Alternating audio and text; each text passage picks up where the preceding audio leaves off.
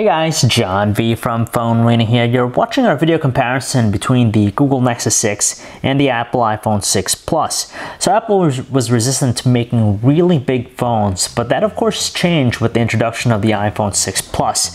It arrived onto the scene with much acclaim, though it was kind of light on phablet-like features. In contrast, the Google Nexus 6 is embarking on its journey with its fresh Android 5.0 Lollipop experience. So it's to be interesting to see how it can try to propel itself and reaching the same highly sought out status as Apple's pride and joy. Now at the of it all, it's yet another metal versus plastic comparison. Even though the Nexus 6 is one of the sturdier and attractive Nexus devices ever to be released, it still lacks the meticulous premium finish of the iPhone 6 Plus. Still, we really appreciate that it features dual front firing speakers, while the iPhone 6 Plus differentiates itself by incorporating a Touch ID fingerprint sensor into its home button.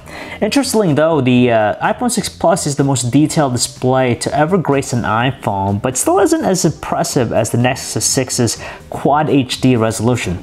Then again, the iPhone 6 Plus has a brighter and more color accurate screen, making it a lot easier to view outdoors with the sun present. Details of course are no doubt impressive with the Nexus 6 display, but we can't discount the iPhone 6 Plus's pleasant qualities as well. Apple no doubt brought its game to the table with the release of iOS 8, giving it some notable features that bring the experience to the same level as Android past. However, now that Android 5.0 Lollipop is here in the flesh on the Nexus 6, the separation between the two platforms is once again apparent. It all boils down to the undeniable reality that Google is just one step ahead of its rival.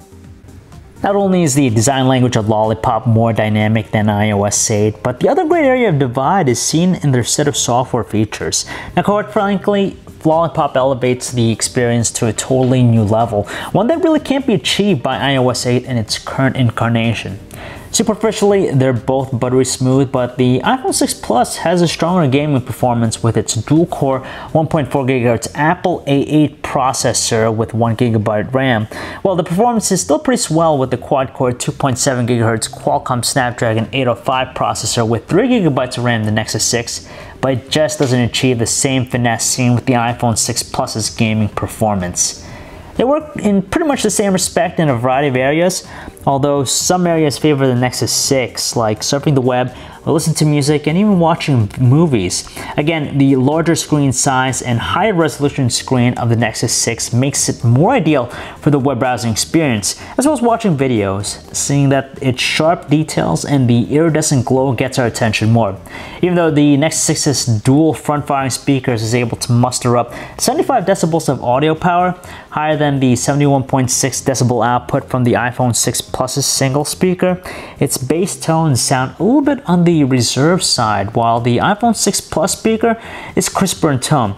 Now on paper, the Nexus 6's camera seems to have an advantage, but the results show the iPhone 6 Plus is by far the stronger performer. Now don't be fooled by the iPhone 6 Plus's 8 megapixel iSight camera, especially when it seems insignificant on paper to the Nexus 6's 13 megapixel snapper, just because it's far more versatile in capturing photos in their natural state.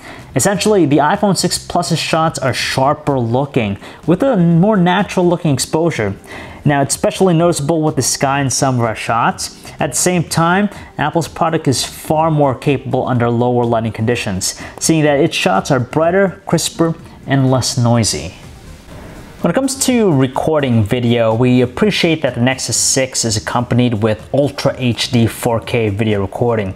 But when comparing apples to apples with their 1080p samples, we're again just attracted to the quality of the iPhone 6 Plus. Essentially, it's sharper looking, offers better exposure adjustment, and it's also spot on with its autofocus.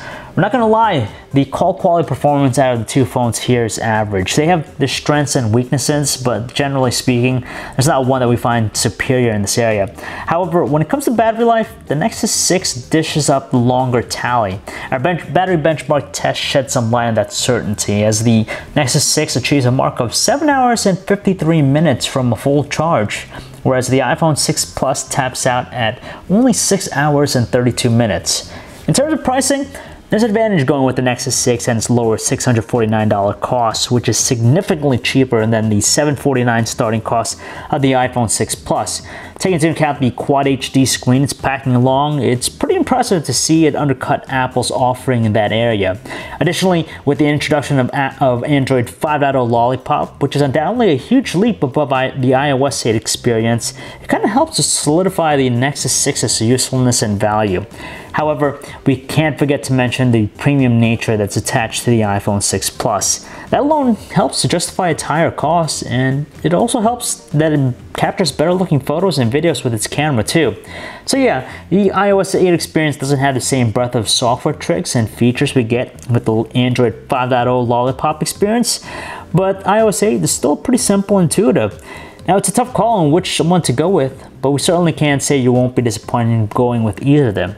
So if you guys want to learn more about either device, you could check out our website, phonearena.com. It's John V. Thanks for watching.